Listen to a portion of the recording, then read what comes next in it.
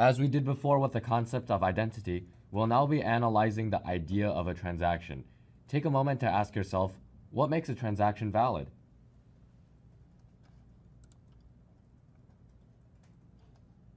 For a transaction to be valid, it must have these three components. One, a proof of ownership, aka a signature. Two, available and sufficient funds to spend. And three, a guarantee that no other transaction is using or has used the same funds.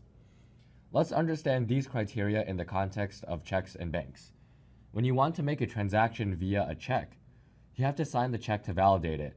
That's a proof of ownership.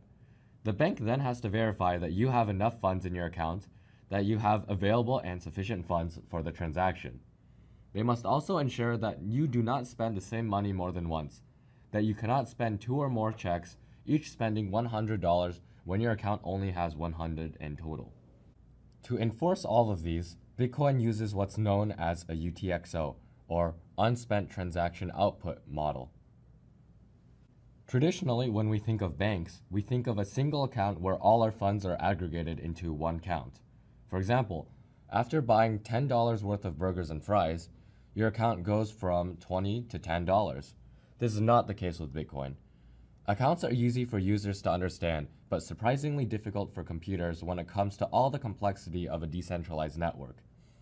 There is no longer a central entity to keep track of all the transactions being made by my account nor a central clock to track when all transactions are being made. If I make three different transactions of 5 bitcoins from a count of only 10 bitcoins, which of the two transactions should go through? How do we ensure that we do not accidentally let all three transactions go through? To make transaction processing much easier and more secure, users do not spend from an account. Instead, they spend directly from transactions made to them. An easy way to wrap our heads around this unintuitive model is to think about UTXOs as piggy banks. Each time a transaction is made to us, we put all the money into an UTXO or piggy bank. When we want to spend money, we break open that piggy bank, spend whatever we like, and then put the rest into another piggy bank. It's hard to put a piggy bank's shattered pieces back together, of course.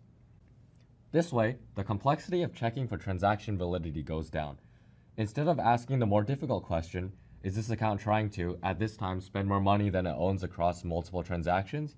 We only need to ask, does this single piggy bank have enough funds? On the other hand, the complexity of keeping track of one's own funds goes up, as each of these various piggy banks needs to be secured and tracked individually. And the amount of Bitcoin you own is calculated by summing up the value of each of your piggy banks, or UTXOs.